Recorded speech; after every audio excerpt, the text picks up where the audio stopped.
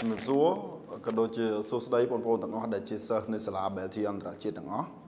លោកគ្រូឈ្មោះកៅជីវ៉ាលោកគ្រូនឹងបង្រៀនថ្ងៃនេះនឹងមានចិត្តសប្បាយរីករាយណាស់នឹងលើកយកមេរៀនថ្មីមួយដើម្បីមកបង្រៀនពួកយើង គឺចម្ពោះថ្មី គឺចម្ពោះទី3មេរៀនទី1សំណរឹងណាសំណរឹងប៉ុន្តែមុននឹងចាប់ផ្ដើមមេរៀនថ្មីលោកគ្រូចង់ឲ្យពួកយើងទាំងអស់គ្នាបើកទៅដល់សភៅមើលមេរៀនចាស់ដែលយើងរៀនកាលពីសប្តាហ៍មុន តើសប្តាហ៍មុនយើងរៀនដល់ណាហើយបាទសប្តាហ៍មុនយើងរៀនដល់មេរៀនគឺមេរៀនទី5រ៉ែនិងផូស៊ីលអន្តនៈណាមុននឹងចាប់ដើមរៀនថ្មីលោកគ្រូរំលឹកមេរៀនចាស់បន្តិចសិនកាលពីមេរៀនទី5ដូចមិនដឹងហៅថារ៉ែណាដូចមិនដឹងហៅថារ៉ែរ៉ែជាអង្គធាតុរឹងអសរីរាង្គកើតឡើងពីធម្មជាតិក្នុងសម្បកផែនដីមានទម្រង់ជាក្រាមណាជាអង្គធាតុរឹងអសរីរាង្គកើតឡើងពីធម្មជាតិក្នុងសម្បកផែនដីមានទម្រង់ជាក្រាមណាហើយគេចែករ៉ែជាប្រភេទ គេចែករ៉ែជាពីរប្រភេទគឺរ៉ែស៊ីលីកាត និងរ៉ែគ្មានស៊ីលីកាតហើយកាលមុនថ្ងៃមុនលោកគ្រូក៏បានប្រាប់ដែរថារ៉ែទាំងពីរហ្នឹងវាខុសគ្នារ៉ែស៊ីលីកាតគឺជារ៉ែដែលមានច្រើននៅក្នុងសម្បកផែនដីប៉ុន្តែមិនសូវមានតម្លៃទេអារ៉ែគ្មានស៊ីលីកាតគឺជារ៉ែដែលមានតិចនៅក្នុងសម្បកផែនដីប៉ុន្តែប្រជាជនមនុស្សលើភពផែនដីឲ្យតម្លៃវាគឺមានតម្លៃខ្លាំងណា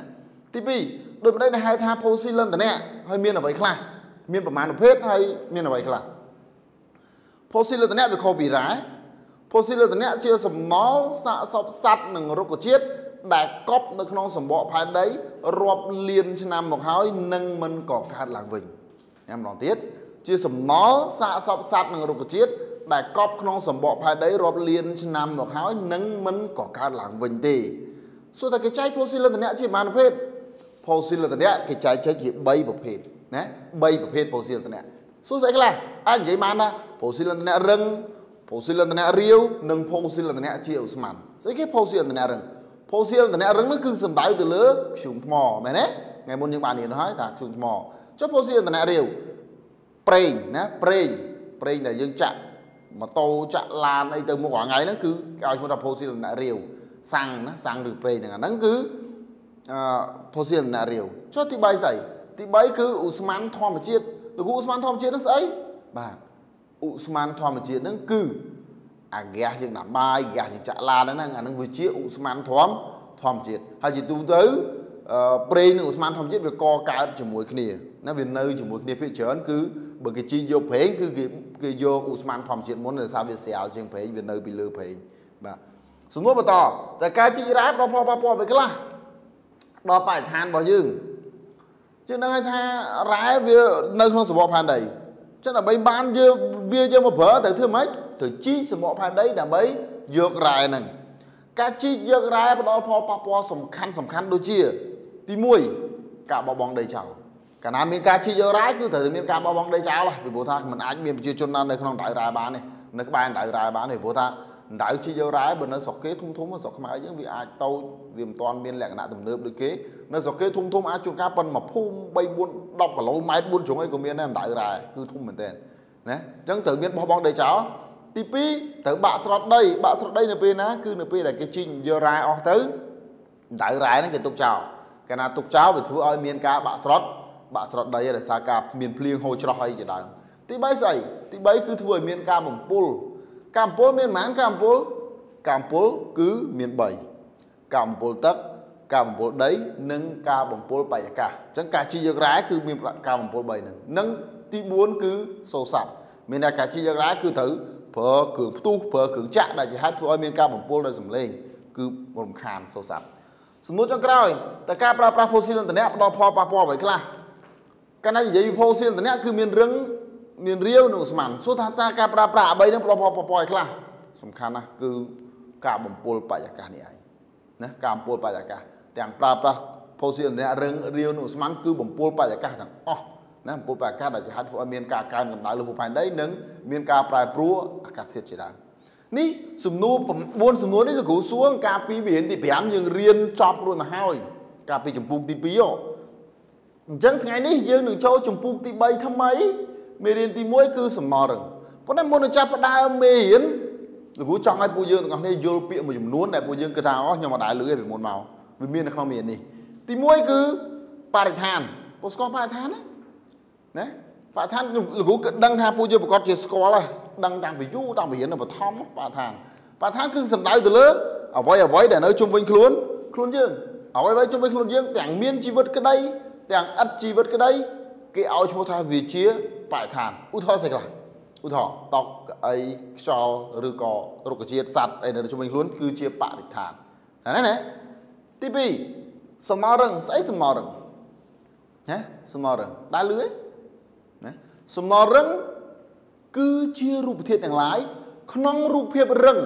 ដែលគេបោះចោលក្នុងគោលបំណងឈប់ប្រើបន្តទៀតរូបធាតុទាំងឡាយដែលក្នុងរូបភាពរឹងដែលគេបោះចោលក្នុងគោលបំណងឈប់ប្រើទៀតឧទាហរណ៍ Ferd ពុទ្ធក៏ Ferd ទេនៅ Ferd មួយនៅពេលដែលលគ្រូវាមានទឹកលគ្រូនៅប្រើវាអញ្ចឹងណាដល់ពេលអស់ទឹកទៅបញ្ចូលទឹកអត់កើតលគ្រូបោះវាចោលកាលណាបោះវាចោលអាហ្នឹងមកគេឲ្យឈ្មោះថាវាជាសំណល់សំណល់រឹងណានេះមើលអីទៀតសំណល់រឹងឧទាហរណ៍ដបទឹកសតឬក៏ថង់ផ្លាស្ទិកកាលណាយើងជប់ប្រើអាហ្នឹងយើងបោះចោលមែនទេកាលណាបោះចោលអាហ្នឹងគេឲ្យឈ្មោះថាវាជាសំណល់សំណល់រឹងទី3ការបំពុលស្អីគេការបំពុល ការបំពុលនិយាយងាយស្ដាប់គឺជាការដែលធ្វើឲ្យពុលណាធ្វើអ្វីមួយដែលល្អទៅជាពុលឧទាហរណ៍ការបំពុលទឹក មានន័យថាធ្វើដល់ទឹកទឹកល្អយើងទៅយើងធ្វើឲ្យវាពុលការអំពុលខ្យល់មានតែខ្យល់អាកាសបរិសុទ្ធយើងធ្វើឲ្យវាទៅជាលែងបបរិសុទ្ធហ្នឹងគេហៅថាការបំការបំពុលនឹងចុងក្រោយ ការកែច្នៃជាថ្មី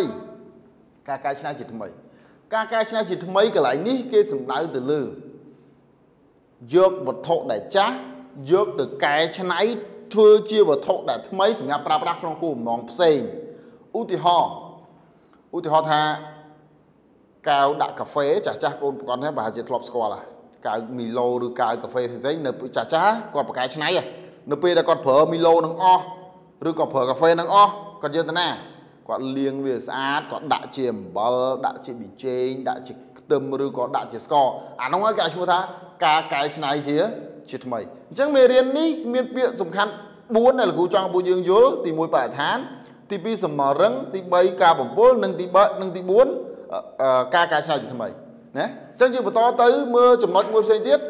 អូខេឥឡូវយើងតទៅមេរៀនថ្មីរបស់យើងគឺមេរៀនទី1ទី1សមរឹងដូចមិនដឹងហៅថាសំណល់រឹងអត់ទេណាសមរឹងគឺជារូបថារូបធាតុទាំងឡាយក្នុងរូបភាពរឹង ដែលគេបោះចោលក្នុងគោលបំណងឈប់ប្រើបន្តរូបធាតុទាំងឡាយក្នុងរូបភាពរឹងដែលគេបោះចោលក្នុងគោលបំណងឈប់ប្រើបន្តគេឲ្យឈ្មោះថាវាជាសំណល់រឹងណាសំណល់រឹងមានអីខ្លះច្រើនណាស់នៅជុំវិញខ្លួនយើងស្អីក៏មានដែរសំណល់រឹងណាសួរបន្តទៀតតើសំណល់រឹងមានអ្វីខ្លះដោយលោកគ្រូបាននិយាយមាន fur ដែលអស់ទឹកមានប៊ិចដែលអស់ទឹកណាមានថង់ផ្លាស្ទិកមានដបឬក៏សម្ភារៈទៅចេញពីផ្ទះបាយ ណាមានដូចជាសំណល់កាក់បន្លែផ្លែឈើដែលសល់យើងបោះចោលហ្នឹងសិតតែជាសំណល់រឹងណាមានច្រើនណាមានផ្លាស្ទិកសម្បកដបសម្បកផ្ទះបាយជាដើមទាំងអស់ហ្នឹងគឺជាសំណល់រឹងសួរថាអឺសំណល់រឹងផ្ដល់ផលប៉ះពាល់នៅពេលណាប៉ះពាល់នៅពេលណាមិនមែនសំណល់រឹងទាំងអស់សិតតែប៉ះពាល់ទេណាមិនមែនសិតតែប៉ះពាល់ទេវាប៉ះពាល់ទេប៉ុន្តែប្រសិនបើយើងទុក ប្រសិនបើយើងប្រមូលឬក៏ប្រសិនបើយើងស្តុកវាឲ្យបានល្អវាមិនសូវមានការប៉ះពាល់ទេ វាប៉ះពាល់ដែរតែមិនសូវមានការប៉ះពាល់ឧទាហរណ៍នៅប្រទេសជឿនលឿនប្រជាជនគេណាប្រជាជនគេឧទាហរណ៍នៅអាមេរិកឬនៅ Japan ឬនៅ China ឬចិនអីណានៅពេលដែលគេមានសំណល់នៅដៃនៅពេលដែលមានកំណត់នៅដៃមួយ គេគិតថាប្រជាជនរបស់គេគិតថាយកទៅបោះចោលណាបើយើងជិះនៅលើទ្រូងផ្លូវរបស់គេវិញណាស្ទើរតែមកព្រឹកដល់ល្ងាចអត់តាន់ឃើញមានថង់ផ្លាស្ទិកមួយហោះតាមផ្លូវហ្នឹងវាខុសពីស្រុកយើងស្រុកយើងចាញ់តែពីកន្លែងចាញ់តែពីផ្ទះឬក៏នៅផ្ទះហ្នឹងក៏សិតតែសំណល់ដែរកន្លែងណាក៏មានសំណល់ហ្នឹងសួរទេមិនអញ្ចឹងដោយសារការយល់ដឹងរបស់ប្រជាជននៅតំបន់ប្រទេសជឿនលឿនគឺមានកម្រិតយល់ដឹងខ្ពស់គេយល់ពីបញ្ហាបរិស្ថានអញ្ចឹងមួយពេលមានសំណល់ គេស្តុកគេប្រមូលបានត្រឹមត្រូវកាលណាស្តុកប្រមូលបានត្រឹមត្រូវវាជាហេតុធ្វើឲ្យមិនសូវមានការប៉ះប៉ះពាល់ទេប៉ុន្តែនៅពេលដែលយើងបោះវាចោលពីវាពីការវាហោះពេញណាពេញនៃតាមផ្លូវសាធារណៈវាហេតុធ្វើឲ្យមានផ្ដល់ផលប៉ះពាល់ខ្លាំងដល់សុខភាពមនុស្សណាអញ្ចឹងសំណល់រឹងបើកាលណាយើងស្តុកយើងប្រមូលឬក៏យើងទុកដាក់វាមិនបានត្រឹមត្រូវជាហេតុធ្វើឲ្យមានការប៉ះពាល់ខ្លាំងបំផុតណាបន្តទៀត តែអ្នកណាជាអ្នកបង្កើតសំណល់រឹងស្ទួទៀតថាណាបង្កើតសំណល់រឹងអឺឆ្មាឬក៏ឆ្កែជាអ្នកបង្កើតសំណល់រឹងឬក៏ជាសត្វគោក្របីផ្សេងអត់ទេអ្នកដែលបង្កើតសំណល់រឹងខ្លាំងបំផុតគឺមនុស្សឥឡូវលោកគ្រូសួរត្រឡប់ទៅពួកយើងទាំងអស់គ្នាទាំងលោកគ្រូទាំងប្អូនទាំងអស់គ្នាទាំងមនុស្សទាំងអស់លើភពផែនដីសួរថាអ្នកណាដែលមិនបញ្ចេញសំណល់រឹងមិនមានទេអ្នកណាក៏មានបញ្ចេញសំណល់រឹងដែរ គ្រាន់តែបរិមាណបញ្ចេញហ្នឹងគឺវាតិចឬក៏ឬក៏ច្រើនតែប៉ុណ្ណោះណាតិចឬក៏ច្រើន តាមការសិក្សារបស់របស់ក្រសួងបរិស្ថានឬក៏អង្គការបរិស្ថានពិភពលោកគាត់បានស្រាវជ្រាវប្រាប់មកថាប្រជាជននៅក្រុងនៅទីក្រុងភ្នំពេញណាមិនថានៅទីក្រុងភ្នំពេញនៅទីប្រជុំជនជាពិសេសនៅទីក្រុងភ្នំពេញរបស់យើងហ្នឹងក្នុងមួយថ្ងៃបញ្ចេញសម្រាប់ពី 0.38ទៅ0.56គីឡូក្រាមមានន័យថាចិត្តចិត្តកន្លះគីឡូយើងនិយាយថាកន្លះគីឡូក្នុងម្នាក់ម្នាក់កន្លះគីឡូអញ្ចឹងបងអូនគុណមើលចំនួនមនុស្សឧទាហរណ៍ថានៅនៅនៅទីក្រុងនេះមាន5លាននាក់សួរថាមួយថ្ងៃសំណល់រឹងដែលសល់នឹងប្រមាណតោនណាបើបងអូនទៅអង្គុយមើលនៅផ្លូវផ្លូវអឺស្ទឹងមានជ័យកន្លែងដឹកសម្រាមណាបងអូនរាប់ឡានសម្រាមក្នុងមួយថ្ងៃថ្ងៃដឹងប្រមាណទេ សួរតែសម្រាប់របស់នឹងអ្នកណាអ្នកបង្កើតយើងទាំងអស់គ្នាជាអ្នកបង្កើតណាយើងទាំងអស់គ្នាជាអ្នកបង្កើតសួរអ្នកណាអ្នកទទួលខុសត្រូវយើងទាំងអស់គ្នាក៏ជាអ្នកទទួលខុសត្រូវដែរដោយសារយើងជាអ្នកបង្កើតផលប៉ះពាល់ក៏វាមានប៉ះពាល់ដល់យើងដែរអញ្ចឹងយើងទាំងអស់គ្នាជាអ្នកទទួលខុសត្រូវអញ្ចឹងមិនបាច់ឆ្ងល់ទេថាសួរសមររឹងបានមកពីណា គឺមនុស្សទូទាំងពិភពលោកជាអ្នកបង្កើតសមររឹងបង្កើតតាមរយៈអីដោយសារតម្រូវការក្នុងការប្រើប្រាស់ កាលណាតម្រូវការក្នុងការប្រើប្រាស់កាន់តែច្រើនសំណល់ក៏កាន់តែកាន់តែច្រើនណាជាពិសេសគឺសំណល់រឹងនឹងហ្មងណាគឺផ្ដល់ផលប៉ះពាល់ខ្លាំងសំណួរតទៀតតើសំណល់រឹងមានប្រភពមកពីណាមើលឆ្លើយមើលលោកគ្រូទាំងអស់គ្នាតើសំណល់រឹងមានប្រភពមកពីណាពិតណាសំណល់រឹងមានប្រភពមកពីគ្រប់ទីកន្លែងសាលារៀនលំនៅឋានសន្តាគារ មន្ទីរពេទ្យទីសាធារណៈផ្សារលក់ដូរកន្លែងណាក៏មានសមររឹងកន្លែងណាក៏ជាប្រភពនៃសមររឹងដែរណាកន្លែងណាក៏ជាប្រភពនៃសមររឹងដែរអញ្ចឹងបើគេសួរប្រភពមកពីណាគាត់ឲ្យឆ្លើយកន្លែងណាក៏ត្រូវដែរ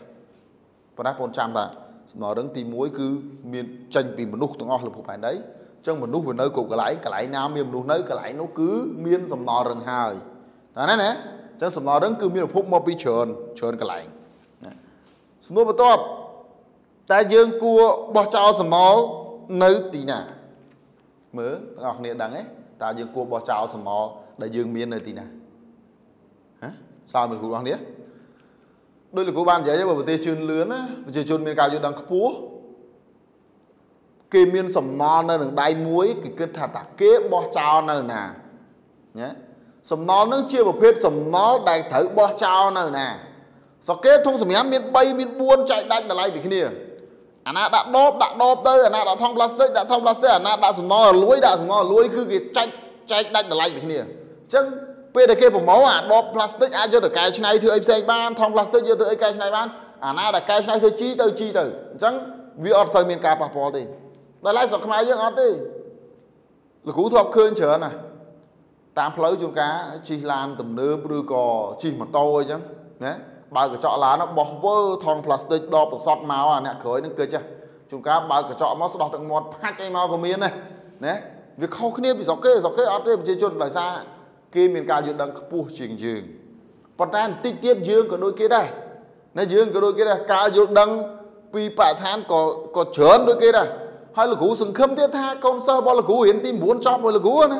ថ្ងៃក្រោយនឹងមិនសូវមានសំណល់រឹងទេហើយនៅពេលដែលមានសំណល់រឹងពួកគាត់នឹងទុកដាក់ នឹងប្រមូលឲ្យបានត្រឹមត្រូវមិនបោះចោលពុះវាពីការទេណាធ្វើបានទាំងអស់គ្នាបន្ទាប់ពីរៀនមេរៀននេះហើយណាយើងទាំងអស់គ្នាត្រូវធ្វើបានទាំងអស់គ្នាអញ្ចឹងដល់ពេលដែលមានសម្រាមយើងត្រូវដាក់ទៅធុងសម្រាមឲ្យបានត្រឹមត្រូវទាំងអស់គ្នាណាបាទអរគុណយើងបន្តទៅចំណុចផ្សេងទៀតចប់ចំណុចលេខ1និងលេខ2ត្រឹមនេះមេរៀនរបស់យើងមេរៀនទី1ចំណុចលេខ1លេខ2គឺចប់ត្រឹមនេះប៉ុន្តែមុននឹងបញ្ចប់លោកគ្រូសំរំលឹកឡើងវិញបន្តិច ដើម្បីកុំឲ្យបងអូនឆាប់ភ្លេចសួរថាតើសំណល់រឹងមានប្រភពមកពីណាអូខេសំណល់រឹងគឺមកពីគ្រប់ទីកន្លែងលំនៅឋានសាលារៀនទីពេទ្យគ្រប់កន្លែងកន្លែងណាដែលមានមនុស្សនៅគឺមានសំណរឹងហើយសួរទៀតថាដូចដែលហៅថាសំណរឹងណាសំណរឹងជារូបធាតុទាំងឡាយក្នុងរូបភាពរឹងដែលគេបោះចោលក្នុងគោលបំណងឈប់ប្រើបន្តទៀតណា រូបធាតុទាំងឡាយក្នុងរូបភាពរឹងដែលគេបោះចោលក្នុងគោលបំណងឈប់ប្រើបន្តទៀតវាជាសំណល់រឹងអញ្ចឹងបងប្អូនទាំងអស់គ្នា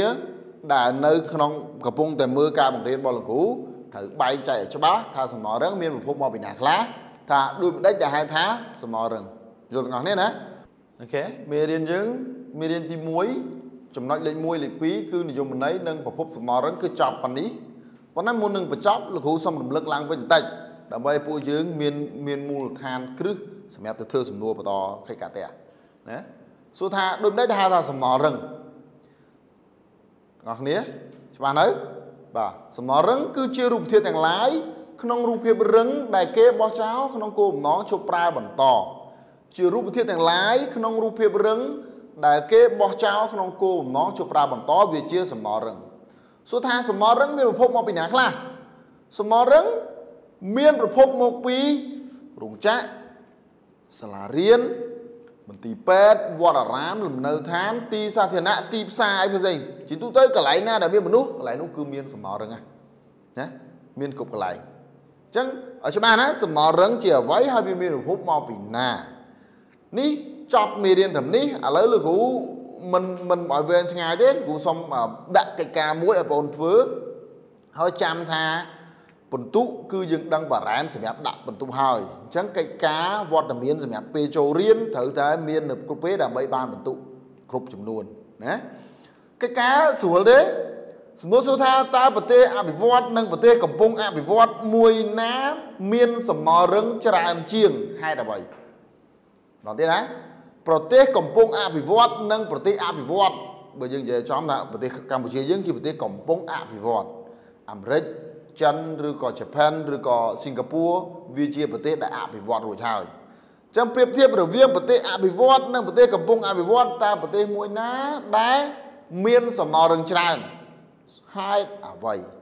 ហេតុអ្វីណាប្រទេសមួយណាមានសំណល់រឹងច្រើនហេតុអ្វីធ្វើដាក់កិច្ចការ B ឲ្យមើលលោកគ្រូសប្តាហ៍ក្រោយណាសប្តាហ៍ក្រោយអញ្ចឹងមេរៀនយើងចប់ប៉ុណ្នេះប៉ុន្តែមុននឹងបញ្ចប់លោកគ្រូសូមឲ្យពួកយើងទាំងអស់គ្នាយកចិត្តទុកដាក់ ទំនេរច្រើននៅផ្ទះកុំលេងច្រើនមើលមេរៀនមិនថាតែផែនដីមិនថាតែជីវៈដែរគ្រប់មុខវិជ្ជាទាំងអស់ពីព្រោះថាយើងជាថ្នាក់ប្រឡងណាយើងមិនដឹងថាក្រសួងឲ្យយើងចូលប្រឡងវិញថ្ងៃណាទេអាកូវីដនឹងមិនដឹងវាទៅវិញថ្ងៃណាទេអញ្ចឹងបើកាលណាយើងធ្វើប្រហែសពេលប្រឡងយើងអត់ចេះពេលនោះយើងធ្លាក់ខាតមួយឆ្នាំក៏ណាអញ្ចឹងខំប្រឹងរៀនបន្ថែមហើយមួយទៀតនោះគឺការពារខ្លួនឯងឲ្យមានសុខភាពល្អឲ្យជៀសឆ្ងាយពី COVID-19 ណាចូលរួមចំណែកជាមួយរដ្ឋាភិបាលដើម្បីទប់ស្កាត់ការរីករាលដាលនៃ COVID-19 តាមរយៈបង្ការខ្លួនឯងកុំឲ្យឆ្លងកាលណាយើងមិនឆ្លងមានតែយើងរួមចំណែកក្នុងការការពារប្រទេសកម្ពុជារបស់យើងទាំងអស់គ្នាបាទអរគុណហើយជូនពរសុខភាពល្អបាទសំណាងល្អ